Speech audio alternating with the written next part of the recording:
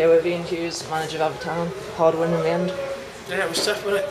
Probably tougher than we uh, we wanted it to be.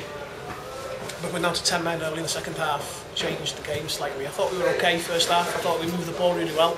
I thought, you know, we created a couple of chances in the first half and I was quite content with the way we performed in the first half. We're down to 10 men, changes the swing of the game and momentum. And to be fair, Mike Lewis has pulled off a couple of good saves in, in, in extra time, the 90 minutes.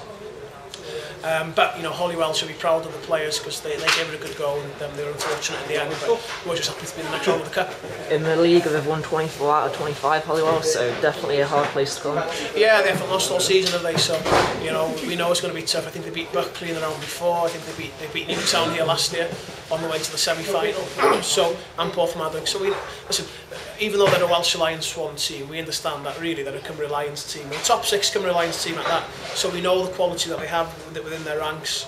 Um, you know, they're fortunate, I think, that a lot of, the players are friends and that they want to play together. Um, and, you know, they'll be successful in the future. I'm sure they will be in the Cymru Alliance next season. How are we looking for injuries? We had Stuart Jones go down in warm-up, then Sean James, Cobachero. Yeah, it was tough with injuries, obviously. um, I had to change to the back four in, in during the game. Um, Stuart Jones was a doubt in the warm-up, but he got through it. Uh, Sean James got injured, so Ryan Batley had to go to centre-half. Then Craig Williams was the best left winger in the league, ended up at left-back. So yeah, it did disturb us slightly, and we don't want to be changing uh, as much as what we did. But um, you know, we've got a big game next week now, so it's important to make sure injuries are fine, and we give it our best shot next week against Everest. And then in the game we had a Mark Jones chance straight at keeper, a Kellaway hit the bar, And both of them, both of them chances came in extra time, didn't they? So I think it demonstrates the, the fitness of the players, first of all, in terms of being down to 10 men and having chances in, in extra time. I can't believe Jeff Callaway didn't go in, and it was a great save from Mark Jones' chance as well.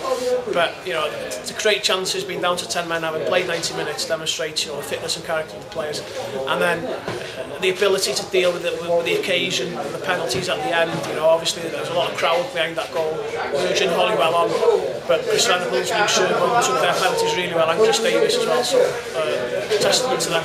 You said Mike Lewis saved three penalties keeps on expect to save him in penalty shootouts. Yeah, but it's no surprise with Mike, is it? You know, I'm, I'm, I'm probably the worst player, worst manager to, uh, worst person to uh, to have a go at him when he makes the odd mistake. But you know he's got that quality in him. He's a great shot stopper, and we saw that today. Not only in the penalty shootout, but during the game as well. He pulled off two or three great saves.